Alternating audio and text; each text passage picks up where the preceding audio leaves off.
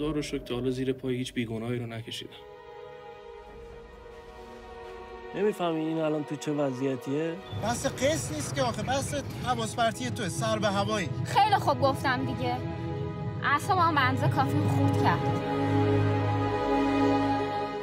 این کارت منو یاد بابام میندازه اونم هر موقع یه چیزی رو نمی‌خواد بگه به جای اینکه راحت بگه نمیگم میگه بذار یه موقع دیگه میگم. من فقط نمی‌خواستم کسی رو بکشم. شما چطوری به هم آشنا شدین؟ دلم برات تنگ شده. قدرت تو تو نگفتنته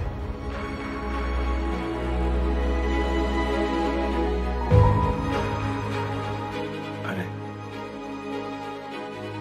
اتفاق افتاد.